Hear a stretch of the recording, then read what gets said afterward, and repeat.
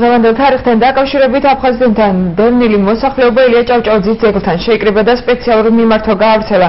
ისინი საქართველოს მთავრობას და საერთაშორისო ორგანიზაციებს ცოცხალი ოკუპაციის შეჩერებას თხოვენ. ჩვენ 20 წლის შემდეგ ისევ დევნილი სტატუსით ვსარგებლობთ.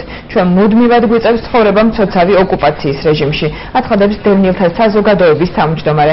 აქციაზე 50-მდე დევნილი იმყოფებოდა შეხვედრის დასრულების შემდეგ მათ მსვლელობით 9 აპრილის მემორიალთან გადაინაცვლეს, რომელიც ყვავილებით შეამკეს.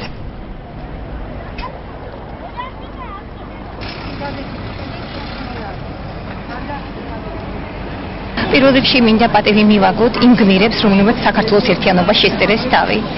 და როგორც ხედავთ, 20 წლის თავზე ჩვენ ვართ ისევ დევნილობის რეჟიმში სამწუხაროდ და მეტიც, ჩვენ ვართ მუდმივი ოკუპაციის რეჟიმში. სოციალი საზღვრები, როგორც იცით. ჩვენ გვინდა მივართოთ დღევანდელ მთავრობას და საერთოდ საერთაშორისო ყველა ორგანიზაციას. დღეს არ არის დუმილის დრო. იმიტომ რომ შეიძლება არ შეგვჩეს ის, რაც გვაქვს. პირველ რიგში, ჩემი სურვილი იქნებოდა შეწყდეს სოციალური საზღვრები.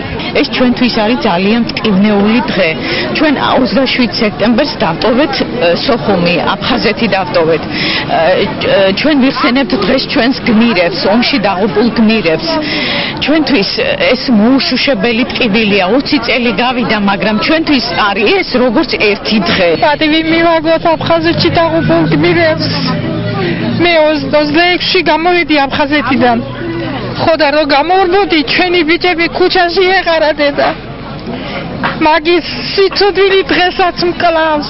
ისინი აი ვერ ვამბობ ვერ გამოთქვამს იმდენ იმას გულის კიდეს რამდენი გულში მიჭირს იმათი ამბავი